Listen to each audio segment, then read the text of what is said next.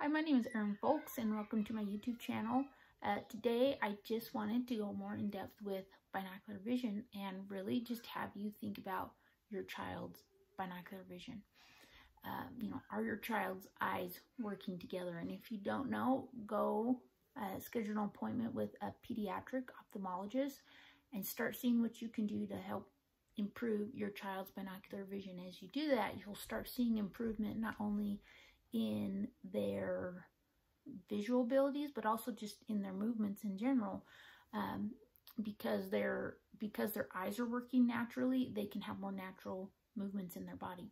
And so this is just a short video, but I really just want to emphasize the importance of binocular vision. And in later videos, I'll show you how to use the books and resources that I've created to help um, to help do that. There's also other great resources out there um, if you know Michelle Turner from Movement Lessons, she is actually presenting some really awesome webinars on cortical visual impairment, uh, 10 vision and movement secrets of cortical visual impairments, and also this awesome course called Unlocking the Secrets to CVI.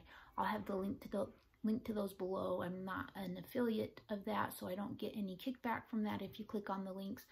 Um, but uh, like they're the most awesome resource I've ever seen for a parent who has a child with cortical visual impairment, and it really gives you step-by-step -step guidance on how you can uh, improve your child's vision. And she really emphasizes the importance of working with your child's binocular vision and also their convergence. But uh, I just, you know, even if you don't go look at those, I really just want you to take some time, study binocular vision, look at it, uh, understand it and see what you can do to help your child's binocular vision. So thank you very much and I will see you next time.